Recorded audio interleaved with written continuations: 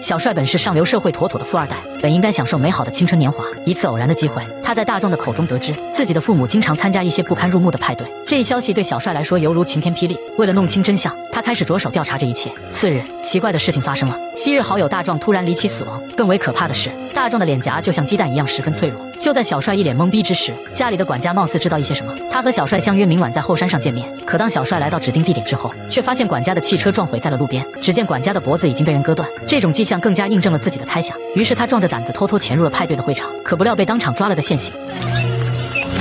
此时派对的一行人也显露了真面目，只见十几余名少男少女相拥在一起，他们的身体开始逐渐融合。很显然，他们已经不是人类，而是一群外来变异生物。吓得小帅急忙躲进了二楼的房间，可他却惊恐地发现自己的母亲正躺在床上，身体也逐渐开始发生变异，两腿之间居然长出一颗脑袋。一旁的父亲也没能幸免，帅气的脸庞也长到了屁股上，而小帅最终也没能逃过这群怪物的魔爪，被迫和他们融为了一体。